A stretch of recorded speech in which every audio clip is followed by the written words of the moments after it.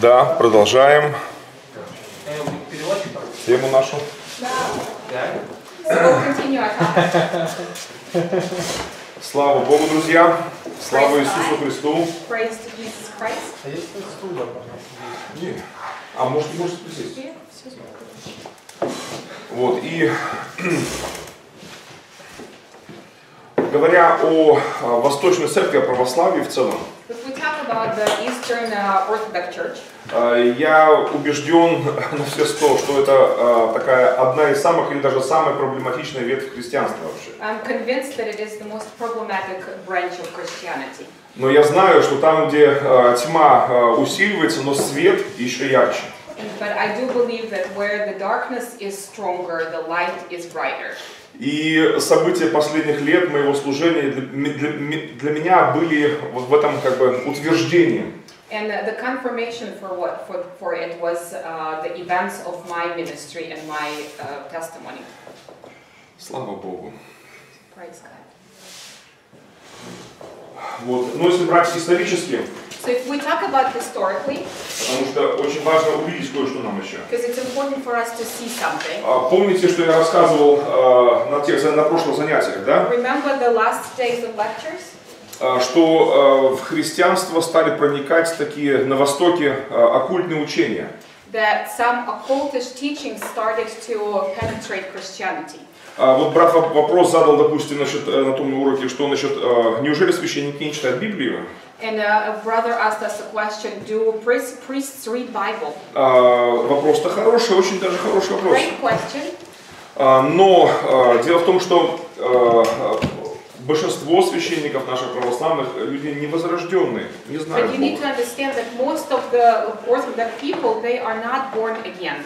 Даже заканчивая там семинарию, духовную академию, Sometimes they graduate seminary or spiritual academy. большинство священников а, даже не понимают, как спастись и в чем путь спасения вообще Most заключается. priests would not understand what is the way of salvation. А, Если вы спросите обычного священника, а, вот как спастись, в чем спасение? If you will ask a normal priestess, how do I get saved? Ну, What is the salvation? Обычный ответ, вот, ходи в храм, а, праздники соблюдай, And a normal question will be for you, normal answer will be go to the temple and, and uh, uh, abide to all the holidays, Да, ставь свечки, а, значит, э, Candles. помогай людям, бедным, Help значит, ну, people, help жертвуй в people. храм, там, ну, что угодно будут говорить, но вокруг да около. В целом bring your верь, в целом tithing, верь. but they will, they, they can tell you lots of different traditions, but will be walking around the point. Из-за системы многобожия, будем так говорить, э, Иисус Христос потерялся, как иголочка в стогу сена. And because of this system of many gods, Jesus Christ was lost. А, Иисус, он э, для большинства священников э, непонятно вообще, кто он такой вообще. And for many priests, the, the person of Jesus Christ is not understood. И большинство священников, кого я знал, допустим, и знаю, э, заканчив- заканчивая семинарию, не понимают, для чего Библия нужна вообще. And, and many priests, when they are graduating the seminary, they don't even understand what the Bible is for. А, Многие священники убеждены, что Библия никакого отношения к нашей вере вообще вот, и к нашей действительности сегодняшней не имеет абсолютно. And many priests are, are convinced that the Bible is not related to the faith or not related to the practice. А, Это священная книга, а, это святая книга. Перед, перед ней становятся на колени, целуют ее, ее выносят торжественно, красиво ее на распев поют. Have to bow before it, you have to uh, sing for it. Она э, священная именно, но, но никакого практического э, э, не имеет э, как бы, вот, ну, смысла, что ли. So it is a sacred book, but it doesn't have that practical sense to it. А, то есть, как вот э, Марцинковский был такой, Владимир Марцинковский сто лет тому назад. And 100 years ago, there was a person named Vladimir Marcinkovsky. Одно время он был православным таким реформатором. At some point, he was an Orthodox reformator. А, И э, он разговаривал с, с- с коммунистами, с красноармейцами и матросами. And he would talk with communists and with uh, army people and with uh, navy people. И он попытался этих матросов и солдат э, пристыдить, что они делали беззаконие просто. And he tried to shame those army people and the, and the navy people because of what they were doing. Э, И он говорил, что вы же христиане, вам, ну, вы же Библию должны хотя бы элементарно знать. And he would tell them, you're Christians, the, Евангелие. the basic things you need to know at least is the Bible, the gospel. Они говорили, что нас учили целовать ее, но не читать. And they would tell him back that we were, we were taught to kiss it, but not to read it. Но вера не от целования Библии, а от слышания Слова Божьего. А, Последние годы ситуация меняется постепенно в лучшую сторону. Years, to, the, to Особенно здесь, в Украине. especially here in Ukraine. Я встречаю очень много священников, которые читают Слово Божье. А Многие священники в интернете слушают проповеди Many- дру- других проповедников, разных протестантских would проповедников. listen to uh, pre- preachers in internet, А, Имеют общение с разными верующими других конфессий. and they do fellowship with other believers from other denominations. А, Это очень хороший знак. And it is a wonderful sign. И это, как бы, а, знаете ли, такой толчок к реформации And it is a внутри православной церкви. А, Поэтому я думаю, что вот как раз в эти последние времена это все свершится, в наши времена это And I свершится. do believe that during these last times we will have, last days we will have it happened. Я помню, э, э, в Лавру приходил, давно уже. А Потом меня запретили туда э, пускать. I am not allowed there anymore, but I used to be. И, э, значит, э, я попал в черный список туда. I was blacklisted for the for На входе в Лавру меня даже задержали, остановили и показали, что там э, у них доска висит на обороте, написано, что им э, лица, которым запрещен вход в Лавру. And I was, Фотографии I was были. stopped right at the entrance and they showed me this list, uh, uh, like the board where my, my face was there and they said, these are the faces that are not allowed to Вот так вот, Lavra. да. Вот так вот. Их разыскивает милиция, да. So they would say, like, there's warning, the, the authorities are looking for them. Вот, но когда еще можно было заходить, я заходил, общался с, э, с, э, семинаристами, с ребятами, с But молодежью. when I was allowed to go to enter it, I would walk in and I would fellowship with the, with the priests, with people there. И один раз, ну, самый первый раз был такой диспут интересный, образовался у нас такой. And first time when I разговор. was there, we had a conversation, like a, uh, a debate. А со мной были э, учащие, протестанты, учащиеся библейского института. There was some Protestants with me. They were uh, they were from a Protestant institute, from a Protestant Э, school. это, это были писятники и харизматы. It was Pentecostals and Charismatics. Э, и мы общались, э, получается, ну, с первым классом семинарии, да. So we were having this conversation Молодые with the ребята. first grade, like the first grade of seminary. А будущие священники православной церкви. So they were the future priests of uh, Orthodox Church. И эти ребята, э, они стали убеждать, что именно э, православная вера истинная. And these guys started to convince us that the Orthodox Church, wa- Orthodox faith, was the true one, А все остальные деноминации, все, все это все ложное вообще. and the rest of the denominations is a false heresy. А, Но я тоже раньше так верил. And I believe the same thing as well. Я раньше верил, что вообще, что только лишь у нас в православии есть, ну, вообще, все, жизнь вообще, Бог. I believe that uh, God exists and the truth exists only within the Orthodox Church. А Когда я воцерковился, когда я стал священником православным, то я держался этой веры, сам держался. And when I became the priest of uh, Orthodox Church, I, I held on to this belief. И я других э, этой же веры заражал, как бы, значит. And I also was contagious with the same faith with others. Сейчас самому даже, ну, чудно, честно говоря. Right now, I'm, I'm even amazed at myself with this. Вот, и я, конечно, э, а, в 91 году э, я еще э, служил в Рязани, в соборе, священником. 1991, I also was a priest in Ryazan. Э, Это были последние э, месяцы Советского Союза как раз. It was like a few last month of Soviet Union. Вот, и э, со своей матушкой, And I was with, ж- ну, жена моя, жена with, священника, my, with my wife. вот, мы разговаривали. And I was talking with her. И вот как-то разговор зашел о баптистах, о неправославных. And I remember we, the conversation started about the Baptist or not Orthodox Christians. Я даже не помню даже с чего мы начали разговор. I don't even remember how we started the conversation. Но она меня удивила. But she surprised me. А, а- Она мне сказала, а вот а, я еще девчонкой была, и помню, была у нас знакомая одна, моих родителей, родственников, женщина баптистка была. And she said, I remember when I was still a girl, like still young, I met this Baptist uh, person that was a friend of my parents. И эта женщина приходила к нам в гости. And this woman would come and visit with us. И она рассказывала, моя жена, что это, э, эта баптистка, она все разговоры э, в доме переводила к Иисусу Христу как-то плавно. And, and she told me, I remember how she was so crafty at making all the conversation going back to Jesus. Вот, это были еще 70-е годы, uh, конец, 1970s, конец 70-х. the end of 70s. Вот, и тогда о Боге вообще мало кто что-то слышал вообще. And, and hear. Но эта женщина была такая, как бы, ну, евангелистка. But this woman was like an evangelist. И она рассказывала об Иисусе Христе так, как будто бы он прям там вот, э, присутствует прям. And she would speak about Jesus in such a way like he was present right there in that room. А там все были неверующие, коммунисты, атеисты, все были вокруг там. But, but there were non-believers, atheists, communists. И, но все замолкали, But everybody was quiet listening. потому что такого они ни по телевизору не, не видели, ни по радио не слышали, это для них было Because it ну, was чудно все было. something very new. They would not hear it on TV or radio. Вот, и эта женщина, э, эта женщина начинала всегда петь. And Э, this woman would always start to sing. Она пела об Иисусе Христе, And she would sing about Jesus Christ. и она плакала. And she would cry.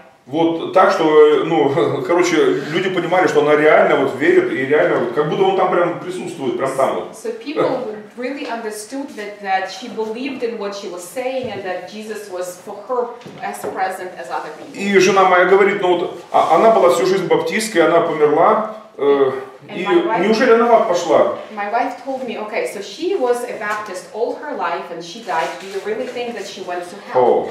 О. А у меня, а у меня насчет э, э, по сектоведению было 5 с плюсом.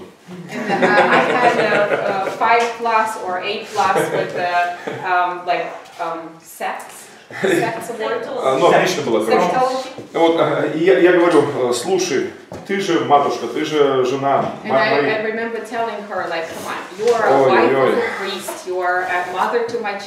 Как ты можешь допускать мысль вообще такую крамольную? Я говорю, если мы православные едва спасаемся, If we as Orthodox barely get to salvation, то на что они вообще надеются then вообще? what kind of hope can they have?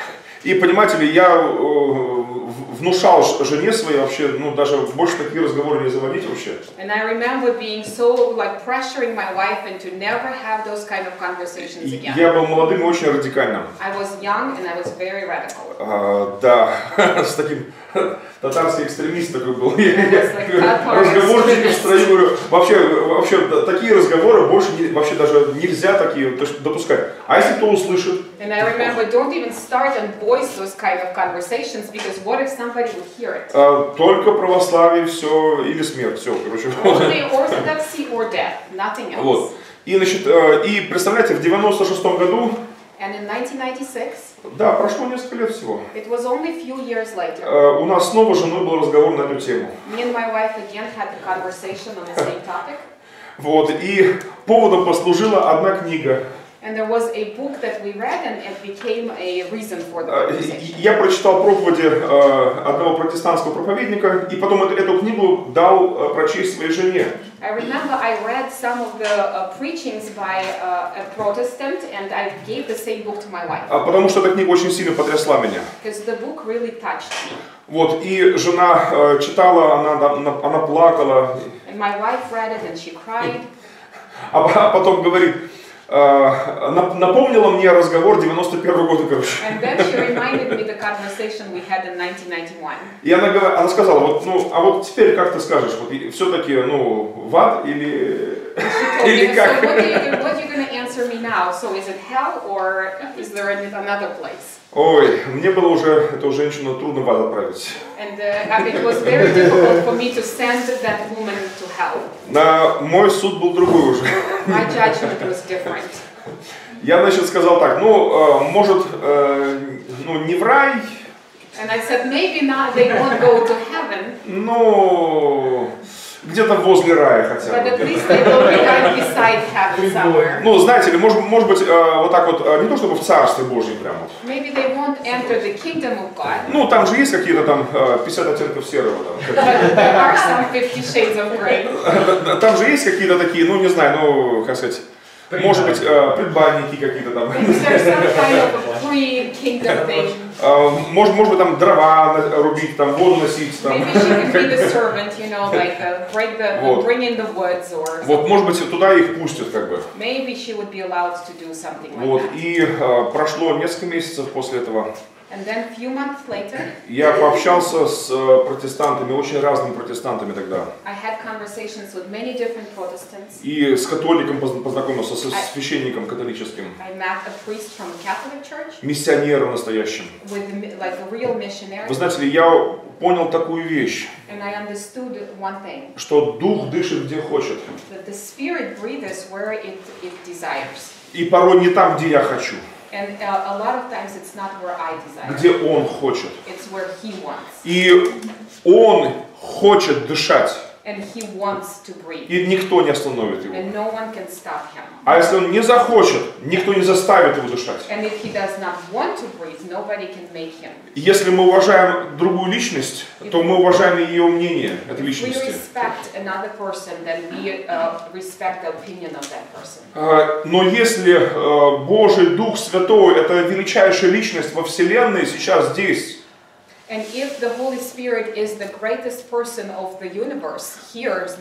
то мы должны уважать мнение этой личности then we need to respect the opinion of this person и не диктовать условия. and not dictate our conditions. А то получится, как в той сказке э, Пушкина про рыбака и рыбку. Because it will be like in that story by Pushkin about the uh, sail, the, the fisherman and, um, and the goldfish. Но э, Дух Святой никогда не будет, э, на, знаете, на посылках у нас. Никогда не будет. like На побегушках. us, like genie. Э, Христос никогда не будет подкаблучником. Никогда. Никогда. Э. Церковь повинуется Христу, а не наоборот. Christ, И э, как- когда значит, а церковь возомнила себя, и вообще э, христианство, иерархия сама начинает мыслить, что э, Христос, как бы мы можем им понукать, вертеть им куда хочешь вообще. And when the church Это and the, грех. and the church hierarchy starts thinking that we can move or turn Jesus a certain way, it's, it never will happen. It's a sin.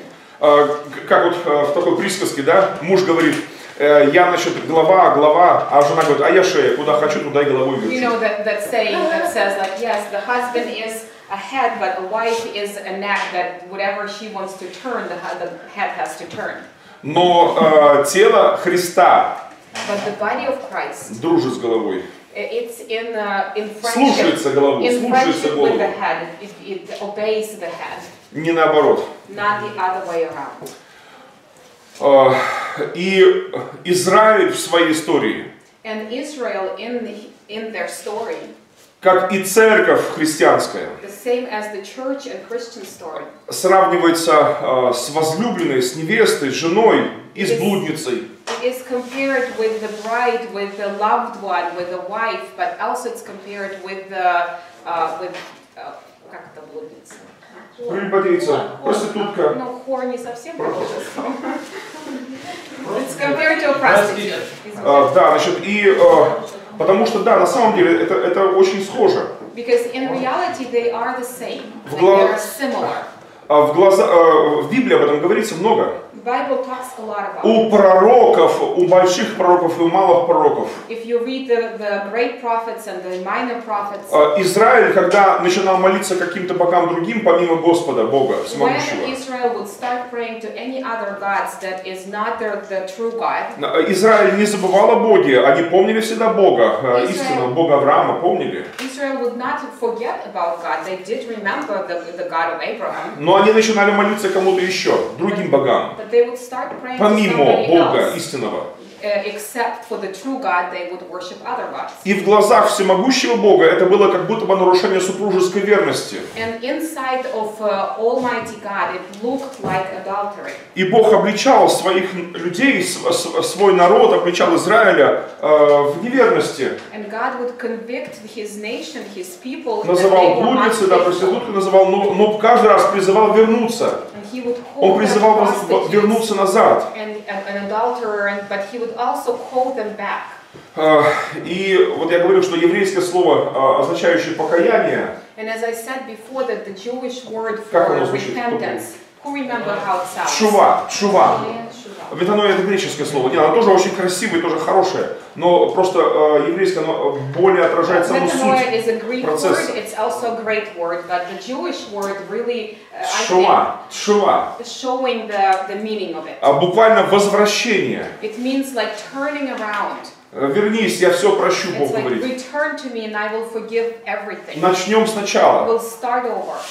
Вот, и он очень ревнивый. And God is very zealous. Почему еще ревнивый? Why is he zealous? Не потому что эгоист, Not because he's selfish, хотя его можно сравнить с суперэгоистом, but you can't compare him to a super selfish а God. потому что он любит нас, But because he loves us, потому что он создал нас. because he created us. И человек, который начинает э, самое интимное, самое сокровенное в себе, And the person that takes whatever the most сердце secret, свое, дух the, свой, the, the most uh, hidden, his heart, his spirit, открывать для кого-то еще помимо него, and when he opens this sacred thing to something else, запускается как бы механизм самоуничтожения просто. Then he starts the mechanism of self-destruction. Когда человек молится, он э, открывает самое интимное внутри себя, самое сокровенное. When a person prays, he opens up the most sacred and the most intimate thing within them himself. И наше нутро, наше естество э, создано для общения с Ним, ни с чем-то еще другим. And our being, our nature is created to fellowship only with him, not with other things. Вот почему многобожие является грехом разрушительным, и это нарушение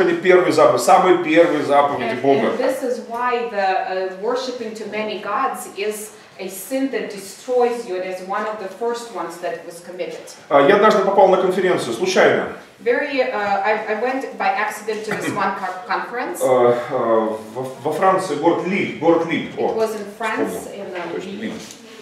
А, значит, э, я, я приехал, заехал туда, я приехал вообще в Бельгию, э, I, в I Бельгию, actually went to Belgium, а, и в Голландии был.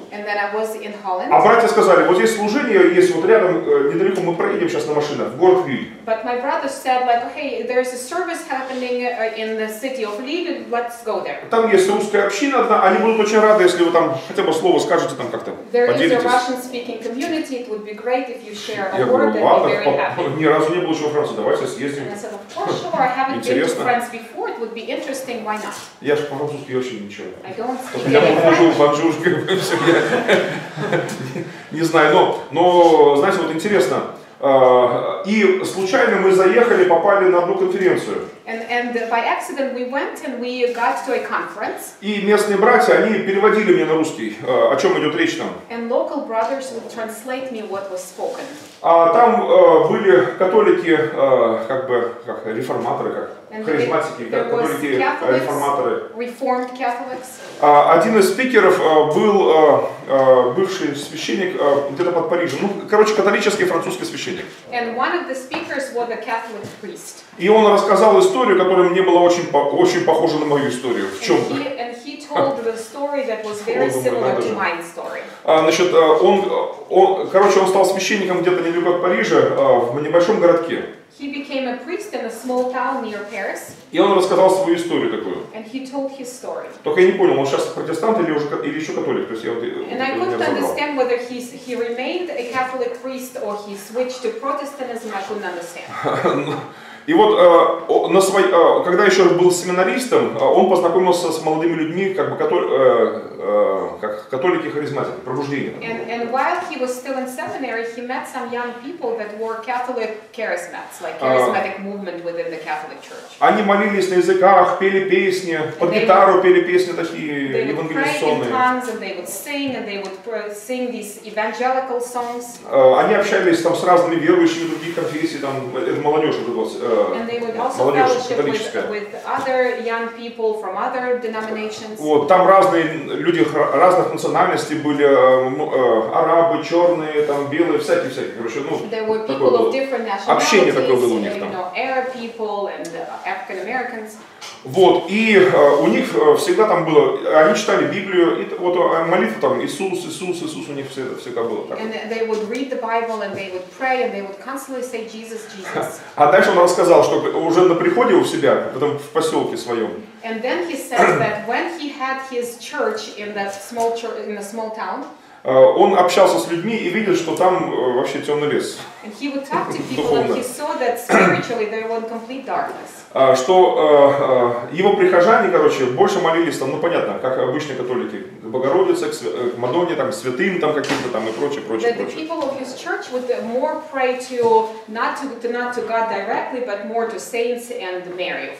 И, он там э, э, сделал, а, как стенгазету такую повесил у себя в, в- в церкви. Put Костюме своем. Вот, и э, проводил каждое воскресенье опрос. And he would uh, do like a survey every Sunday. Вот, э, как бы рейтинг святых назвал. He, he was going to do, he would rate так вот. the saints. О- Он как бы так подошел так творчески к этому. He was very creative, he decided to rate which saint is the most Значит, и значит, э, кому больше прихожане его молятся, как бы. Which one do they В pray the течение недели там, значит, там. during the week? Вот, он добился очень скоро, что рейтинг Иисуса был самый великий там.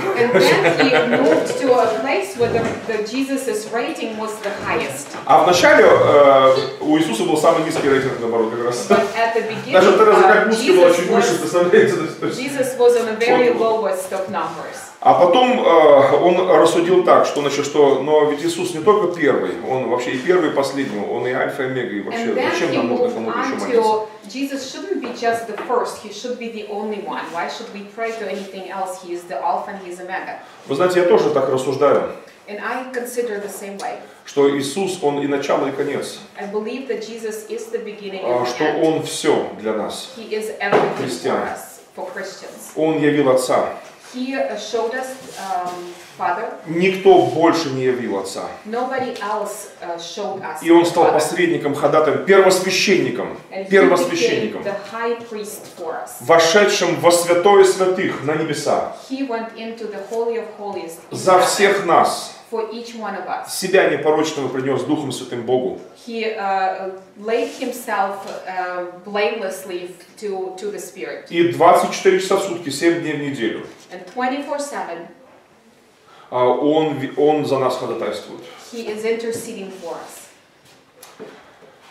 Друзья, и я э, скажу, что про- проблема многобожия, это действительно очень, это, это, на мой взгляд, это корень всей проблемы э, в православии и вообще в христианстве. And friends, I will tell you that the problem of worshiping many gods is the greatest problem in Orthodoxy and in Christianity altogether. С 96 года я учу людей, стараюсь учить этому, что э, во имя Иисуса Христа молимся мы Богу, мы And молимся since, во имя Иисуса, не, не в чьи-то другие имена. since Во имя Иисуса 1996, Христа. I teach everybody that our prayer should be only done in the name of Jesus Christ, Приходим, nobody else. приходим к Богу, как к своему Отцу. We come to God as to our Father. Вот, и э, я говорил на занятиях, что вот с этих соборов, And as I said to you before, that from these councils, а, третий и четвертый собор, it was the third council and fourth council. они стали э, роковыми в истории христианства вообще. They, they became uh, like um, a changing point in Christianity. И к 843 году And by the time of 843, эта система, знаете, как, как снежный ком. Вначале ком был небольшой, потом больше, больше, больше. Он докатился сюда, в огромного монстра превратился uh, просто. it became like, you know, the, the system became like a snowball, that when it got to 843, it became a huge system. А Если э, изначально шла речь э, о десятках некоторых посредников э, к Богу, ходатаев, If, if at the beginning there was only like about 10 different uh, mediators before you come to God, intercessors, к 843 году шла речь уже о тысячах и тысячах посредников вообще. by 843 there were thousands and thousands of mediators. А, Я сейчас э, понимаю так, что враг специально это сделал. And as I look right now, the enemy was very uh, uh, determined about it. Он не может в христианстве отменить Иисуса Христа, He cannot cancel Jesus Christ in Christianity, но сделать его одним из многих, but he can make him разбавить, one, рассеять, one of many. He can чтобы не было христоцентричности. that he, the Christ would not be a center. И попробуй спастись здесь, попробуй найти истину здесь. And, and try Тогда. to find the truth in all of this. А, Получается, это такой, ну, очень серьезный обман. And it is a very serious deception. А, И это вавилонская система, это прелюбодейца система, блудница It's система. a, it's a, a Babylon system. It's the system of an adulterer. А выход один. And the uh, solution only one. Опять-таки, это сам Иисус Христос. It's Jesus Christ Himself. Вернуться а, к нашей первой любви. We have to go back to our first love, Вернуться к тому, от чего мы отпали. To go back to what we have fallen from. А, В протестантских церквях а, нет этой проблемы, слава Богу. In Protestant Ну, э, в целом, there is если брать в целом. the, the problem is not as vivid in, in the whole. А, Слава Богу, что а, в 1517 году Praise God that in 1517, началась а, Великая Реформация. the Great Reformation started. Эта дата стала поворотным вообще моментом в истории, мировой истории And it христианства. became a turning point in, in uh, uh, world Christianity. И для Востока, и для Запада, для всего христианства For вообще. all of the Christianity, whether it's West, whether it's East. А В 1517 году Uh, 1517, а, католический тогда монах Мартин Лютер, немецкий э, реформатор, the Catholic monk, which was Martin Luther, and the German reformer, он прибил тезисы к дверям Виттенбергского собора всех святых. and he nailed 95 тезисов. nailed 95 theses uh, on the door of the temple. А, И в 19 веке And in 19th century, а, Чарльз Перджин, король проповедников его называют, он сказал так, что стук молотка этого монаха пробудил всю Европу. he said that the, the sound of the hammer of this monk awakened all Europe. Но можно даже так сказать, продолжая мысль эту, But we can continue the same thought and say что стук молотка этого монаха пробудил весь христианский мир. that the sound of the hammer of this of this monk woke up the whole world. А, Началась эпоха Великой Реформации. It started the age of great reformation. Если, история, если э, рисовать график истории христианства, график, который отражал бы взлеты и падения церкви, if you could do the, the, the timeline of, of uh, highest and lowest of Christianity, то, несмотря на некоторые частности, uh, if we will see some um, occasions, like Uh, some repeated occasions, э, в целом история, начиная вот с этого самого э, злополучного собора, шла вниз, скатилась вниз по наклонной история if э, you, наша. then, then you would uh, you would look at the 325 and you would see that the history from then on went down. Иногда чуть э, поднимаясь вверх, но затем еще круче вниз. Sometimes maybe we would have some higher higher points, but in in the whole it just went down. А самым кру- самое крутое пике началось после 843 года. Э, Просто вниз, просто... And and the Круто. and, and even the greater low started in 843. Но э, эта эпоха вот э, достиг и потом резко вниз. But this age, you know, when you look from 325 to 843, and then it's just declined even more. Эта эпоха в целом можно назвать эпохой великой деформации. You can call this age as a great deformation. А а затем началась эпоха великой реформации. And then started the age of great reformation. А, То есть была деградация церкви, отступление постепенное, иногда очень крутое. So we had the degradation of the church, it was just great fall of, of church. А После 1517 года постепенно, опять-таки, не все так было гладко, не все так было ровно, но постепенно кривая наша стала подниматься вверх. Восстановление In произошло. 1517, we can see, of course, not like radically so high up right away, but step by step, it started to move up. А, а, Пять столетий продолжается эпоха вот этого восстановления церкви. And then for five uh, centuries, uh, the, the age of restoring God's church is, is, is going on. А, Церковь Бога Живого сравнивается с храмом Божьим. Это и есть храм The Божий. church of living God is compared to the temple. А Кто-то думает, что храм Божий, третий храм, это будет как тот самый, который будет восстановлен в Иерусалиме, там, на Сионе. And maybe somebody Israel. thinks that the temple of God that will, will be restored is somewhere in Israel on, on, in, on Zion. Даже если там будет что-то и восстановлено. Даже Maybe если. even if there will be something restored back in, in that, on that territory. Это не будет третьим храмом. It will not be the third temple. Потому что третий храм уже есть. Because the third temple is already here. Апостол Павел пишет, э, 1 Коринфянам 3,16, вот это, я уже And цитирую. Paul uh, writes in 1 Corinthians 3.16, Разве не знаете, что вы храм Божий, Do you not know that you are the temple of God? и Дух Божий живет в вас? And the Spirit of God lives within you. Апостол Павел написал это, Paul, Apostle Paul wrote that. когда храм второй еще э, не был разрушен, When еще the, до разрушения храма. when the second temple was not destroyed yet, it, it hasn't been destroyed.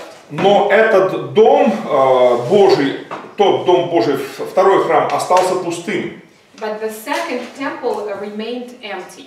Помните, Иисус говорил, Машех сказал, что «Се оставляется дом ваш пуст». And uh, because Jesus said that uh, your Помните, да? house will remain empty. А, э, В Иерусалиме лишь один дом мог э, по праву именоваться домом. Uh, Jerusalem had only one house that would be named as house. Это не дом царя или какого-то it's олигарха. not the house of the king or an oligarch. Это дом Бога. It's the house of God. И действительно, после того, как Иисус это сказал в 30 году нашей эры, And when Jesus said that it was the 30 uh, of our times, the 30 Помните, я рассказывал, да, об этом? remember I told you about this. э, что были страшные знамения 40 лет подряд. There was uh, terrible signs that were going on for 40 years. Э, Мессия сказал, что храм будет разрушен, камня на камне не останется. Messiah said that the temple will be destroyed, that even one stone upon another stone will not remain. И между приговором небес и временем исполнения было, прошло 40 лет. And uh, when it was predicted and when it was actually done, the 70 years passed. В это время стала строиться уже новая постройка, новый храм And начал строиться. that time, a new temple was starting to be being built. На основании апостолов и пророков, пророков имея краеугольным камнем самого Иисуса Христа. And the new temple was according to the, the prophets and the Jesus himself, that the only uh, stone that will be the, the Это founding третий stone храм Божий. is going to be Jesus Christ, and this is the third temple. И в отличие от предыдущих построек, And, and uh, different from the buildings before, этот храм вечный. this temple will be forever, И он строится из живых камней. Хотя и прежние храмы, они хотя были из мертвых камней, но все равно а душой этих храмов бы- была вера людей. Well, were, you know, temples, time, the, the. Но первые храмы, первых два храма, они были лишь прообразами вот этого истинного храма Божьего, третьего храма уже Божьего. were only images or like symbols of what the third temple will be like. И завершением этого храма, куполом его, является сам Иисус Христос, And, and, венцом the, его. and the finish part of this, of the temple, the купол, Купол. dome, dome of the, of the, this, this temple is uh, Jesus Christ. Написано глава церкви Христос. Because it says that the head of the church is Christ. Он и основание, он и глава. He, is our foundation, he is our head. Так вот, дамы и господа, братья и сестры, So brothers and sisters, на протяжении столетий so for centuries, а, стройка а, третьего храма the building up of the third temple, велась по-разному. it was done in different ways.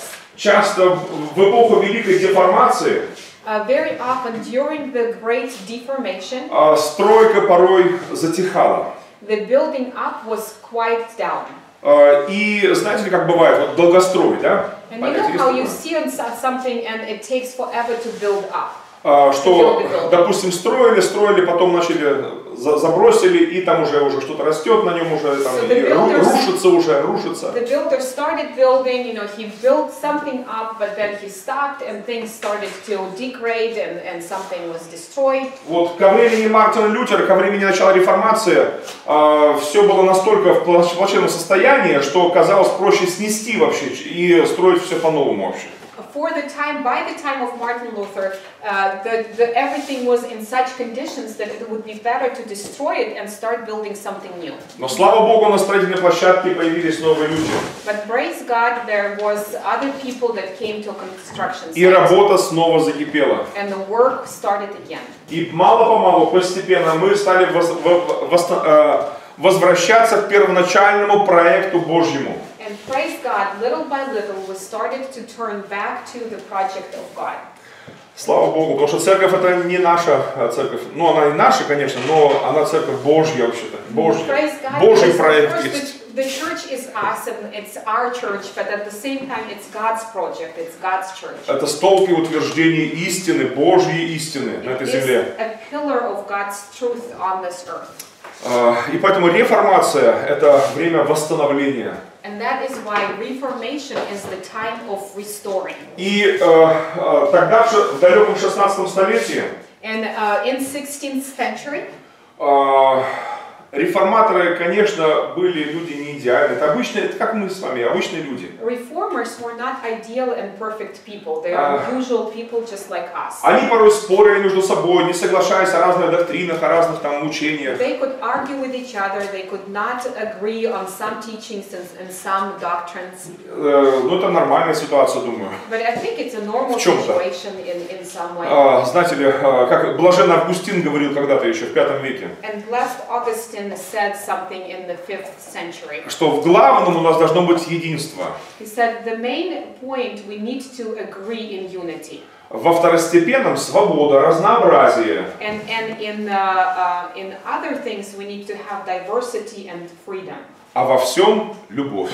But in everything we must have love. Да? Можно вопрос? Я бы хотела немножко вернуться к соборам и Да, я еще буду попросить э, объяснить э, символ веры и филиоква.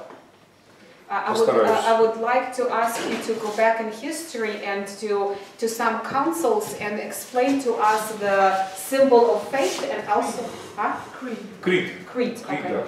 Creed and uh, Филиоква. Исхождение от сына, да. Вот э, на первых э, соборах, первых двух соборах, So the first two councils, э, вероучитель, э, ну как бы, сейчас, вероучительно они оставались на библейских позициях. uh, by doctrine, they, were, they remained in, uh, in biblical positions. В отличие от последующих соборов. Uh, if you look at the difference with the other, uh, the other Эти councils, два собора стали антибиблейскими. those two, uh, these two councils became anti-Bible. Но эти сохранялись в библейской традиции, в библейском учении. But the first two councils, they supported biblical teaching and biblical position. Если для участников вот этих э, двух соборов э, Слово Божье, оно ими пренебрегалось. For the participants of the of- those these two councils, the uh, word of God was neglected. Это было в пятом столетии. It was the fifth century. Но в четвертом веке But the fourth century, э, Слово Божье еще было на высоте в христианстве. God's word was still on high uh, respect. И для большинства участников этих соборов, э, так говорит Библия, это было не пустым звуком, это было действительно ну, And for the, Словом par- Божьим. for the participants of the first two council, the word of God was an authority. Я акцентирую ваше внимание на других вещах, правда. Uh, I do take your attention to other things. Я вам рассказал о страшной ошибке, допущенной на этих двух соборах. I told you about uh, a great mistake that was done during those two councils. А, Я назвал эту проблему цезарепапизм. I told you that the problem is called Caesar church connection. А, как, а, то есть подчиненность церкви государству. Caesar pope, popeism. А, подчиненность церкви государству. It's the submission of the church to the government, to the state. А, Они допустили стратегическую, очень такую фатальную ошибку. And, and they made a strategically fatal mistake. Нельзя смешивать Царство Божье и Царство земное. You may not mix the kingdom of God and the kingdom of earth. А Между этими двумя соборами даже один, один из императоров был. And between those two councils, there was one emperor. Его звали Иовиан. His name was Iavian. Он сказал так в собрании епископов. And he said such a thing in the council of bishops. То, что мне угодно, это и есть канон церкви. Whatever I want is considered the, the, the church doctrine. И э, это была страшная ошибка, And конечно. it was a, a terrible mistake. А, но из положительных э, вещей этих соборов двух But there were positive things from those two councils. э, было определение веры. There was a symbol of faith, a creed. Крит тот самый сим- э, символ веры. А. Кстати, в православии э, э, каждое служение, каждую литургию поется этот символ веры. And in Orthodox Church, actually, every service, the, the, the, the creed is being, being sang. А, В католической тоже. Но в православии это одно из кульминационных и самых торжественных моментов как раз. The, the, uh, the greatest, like спеть? А, Постараюсь. Вообще, для меня это был о, о, вообще очень э, трогательный момент всегда. And for me, it was a very touching moment always, А, Особенно, когда я был диаконом. especially when I was a deacon. Я очень любил диаконское служение, честно говоря. I, I loved the service of a deacon. И диакон в православии это как еще певец, он Because the а, deacon in Orthodoxy is как лидер a прославления. singer, or like for you, it would be a worship leader. Он ближе к народу и он много поет. He is much closer to people and he sings a lot. Я это обожал. And I loved it. Вот, и молодым диаконом я выходил э, там с, с такой... А, And being a young deacon, I would come out and о, я ж, у меня же еще э, сюрприз есть. Сюрприз. А, Не, не, у, у- у меня кра... Вообще, мне ничего такого нету. Жена говорит, у тебя платье больше, чем у меня. My wife, my wife says you have more dresses than me. А, я, я- говорю, поп-модель. Вот, брат, иди сюда. Аксиос, как говорится. Игорь, это. Это школа. Фильмик, фильмик, Что-то так сел, его и руки сюда. А, а, а, А это сюда. Молодец, что сюда. О, смотри. Сейчас, сейчас, сейчас. сейчас. И сейчас, да. Зовут тебя А еще? теперь пей. Игорь.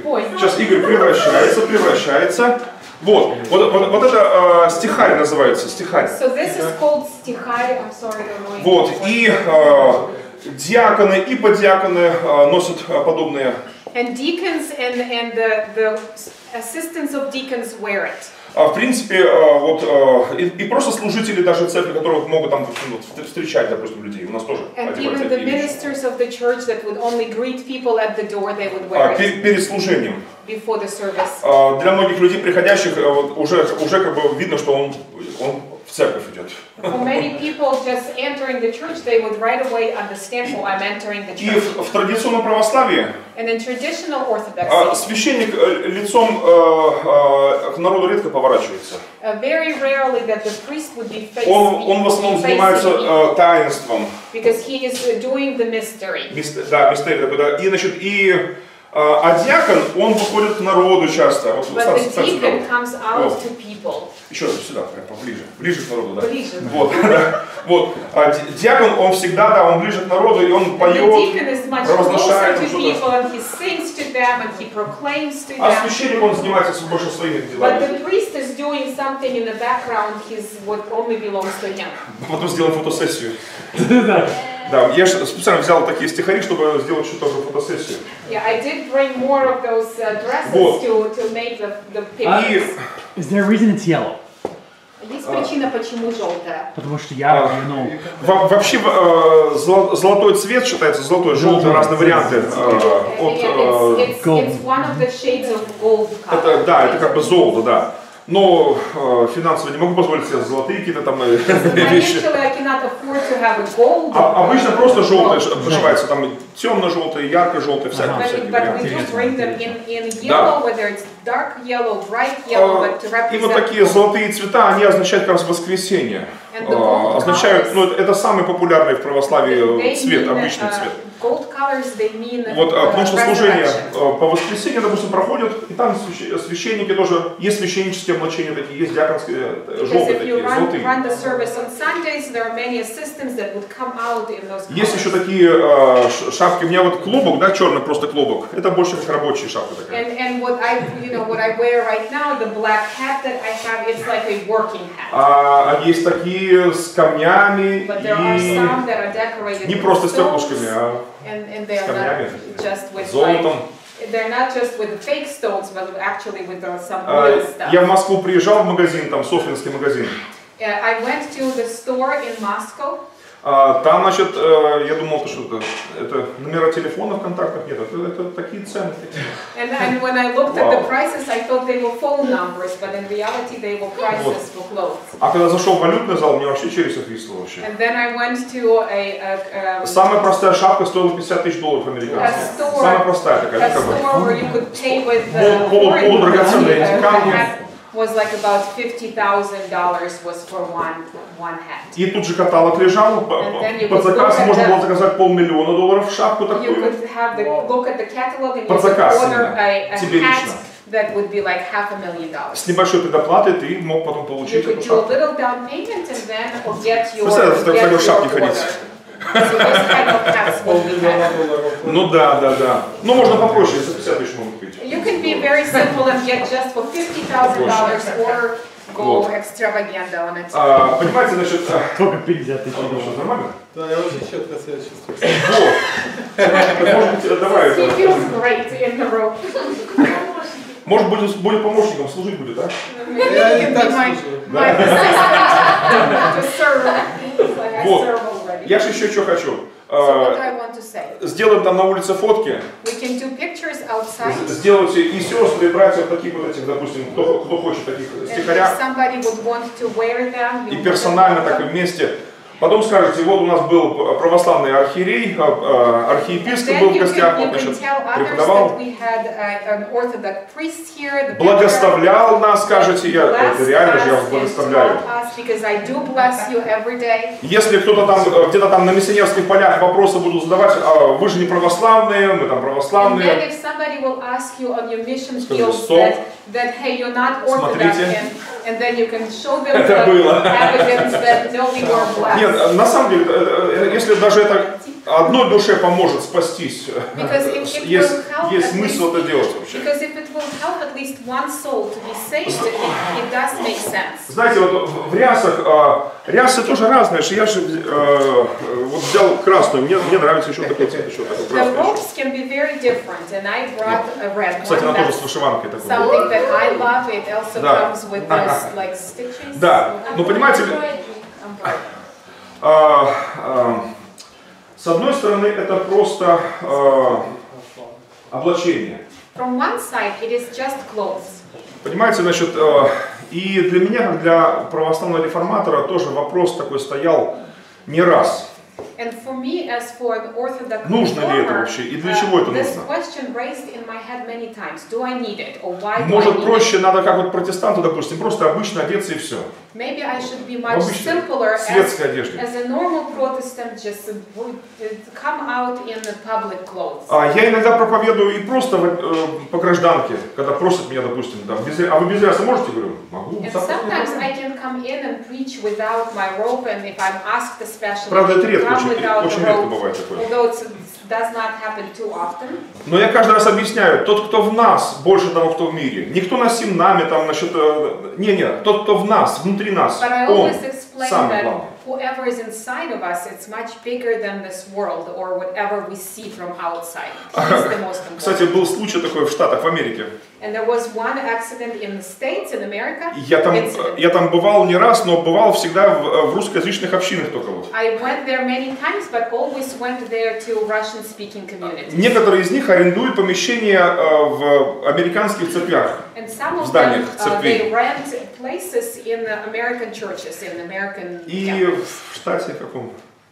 Was- Висконсин. А, Висконсин. Гринбей. Гринбей. Висконсин.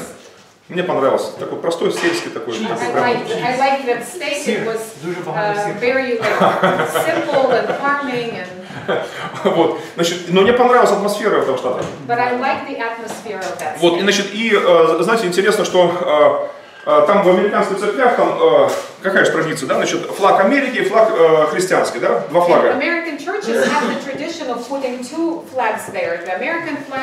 Мне это очень, да, можешь, можешь, сесть, можешь, можешь раздеться даже. Ну, совсем. догола. Разоблачайся. Это говорит, облачаться, это разоблачайтесь теперь. Un- Uncover yourself. Разоблачайтесь. The, the, that's the В русском religious term is to uncover yourself. Двояко. Вот, значит, э, и, э, и что там произошло? And what happened there? А, Оказывается, вот эта э, церковь э, пятидесятническая, собиравшаяся в Гринбее, там, The, uh, uh, the Pentecostal в американской церкви that, пятидесятнической, uh, uh, that was the church that was meeting in Pentecostal church, они настроены антиамерикански. they were very anti-American. Они живут в Америке, но не любят Америку вообще. They live in America, but they don't like America. При, притом э, настолько рьяно, что я даже был в шоке, честно говоря. They were so aggressive about it that even I was shocked. Я думал, это, это как будто попал в Советский Союз. Микро, I микро. felt that I, I entered Soviet Union, like Вот. a micro-Soviet Union. И прямо перед собранием, э, значит, перед началом служения, And right before the gathering, before the beginning of the service, американский флаг торжественно вынесли и унесли, спрятали. they, they took the American flag and they hid it. Ой, позорище. Вот я, значит, посмотрел, думаю, ну ладно, ну ладно, как бы у них свои там тараканы. And I looked at it, I felt like, okay, everybody has their own uh, weaknesses. И э, плюс еще ко мне подошел диакон и сказал, вот братский совет посовещался, и к вам есть предложение. And, and then the deacon came to me and said, you know, as a brother council, we talk to each other and we would love to uh, suggest to you. А Вы не могли бы у нас э, проповедовать без рясы? Could you please uh, preach at our gathering without your robe? А, а- а- а я приехал уже, уже приехал туда. But I, I was already there, А я под низ не одел там что-то соответствующее. and I did not put uh, good enough clothes. Сдал бы хотя бы, ну, взял бы пиджак, взял бы, значит, ну, хоть, ну, хоть, что-то бы. If, if I knew, I could at least bring a jacket or something that was more. Um, А у меня внизу была американская рубашка, американская флага, American flag. На сейлах купил там и ехал. Представляете? Я говорю, окей, не проблем. Снимаю рясу. Оба-на!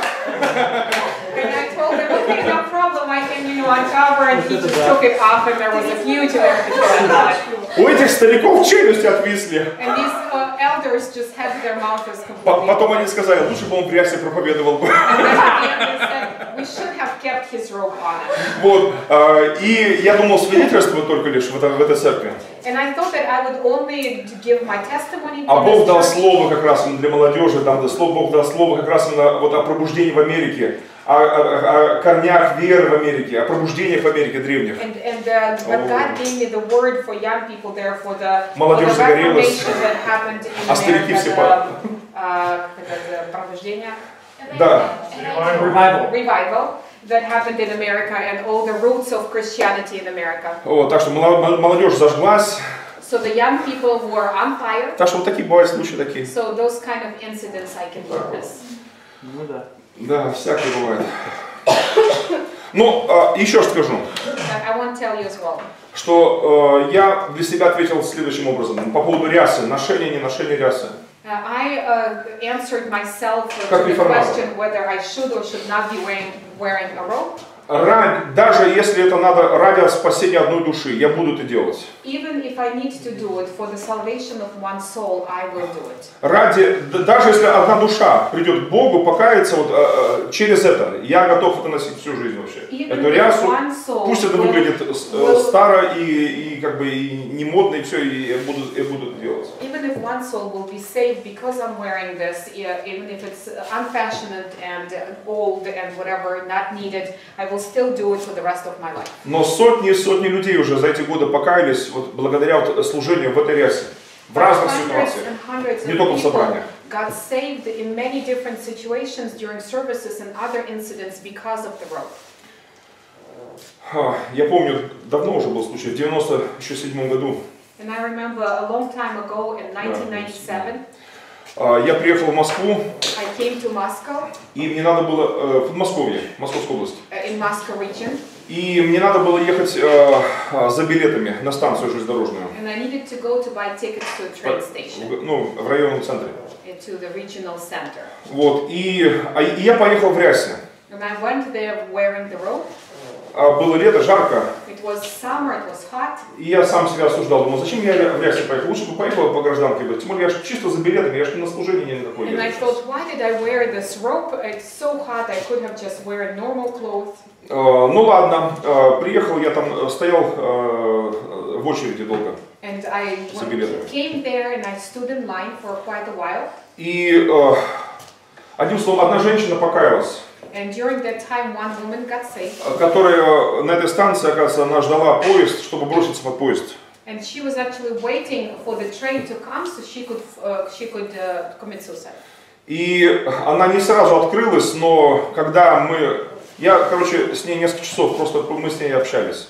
And uh, she did not Она open up to me right away, but then we, we did spend several hours talking together, and she did repent and she